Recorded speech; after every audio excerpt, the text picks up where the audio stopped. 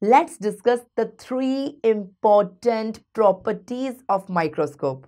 All the microscope should have good resolution, they should have good contrast and they should have good magnification. Then only that microscope is considered as a good microscope.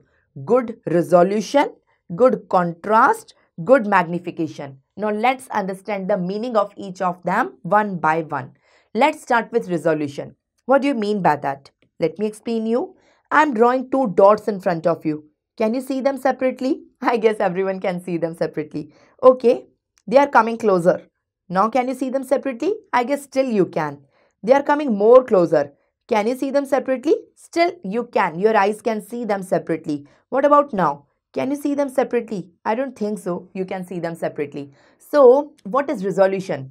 So The resolution is the ability to uh, produce separate images of two closely placed objects.